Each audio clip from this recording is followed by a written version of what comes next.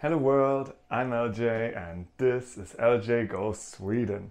Today it's going to be a very short video because first of all I kind of messed up uploading videos, cutting videos. Right now I am in my former town where I studied and also in the apartment where I lived. And yeah, so this is the kitchen. More on that probably in tomorrow's video where I will be talking in detail about what happened all these days. But for now, my hair is still kind of wet, my clothes are wet. The plan was, because it's the hottest day of the week and maybe even the month, I don't know, to go swim somewhere in the river or at least cool down at the river.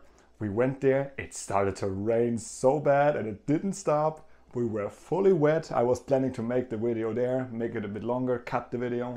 Now there's no chance of cutting this video, so yeah, well, it's now 3 p.m. We're gonna do something indoor and later I have no idea what the day is going to be like the rest of the day but I don't have any plans. And everything else I will be talking about in tomorrow's video. So now I just hope that I can dry off more fast like really fast but yeah, yeah.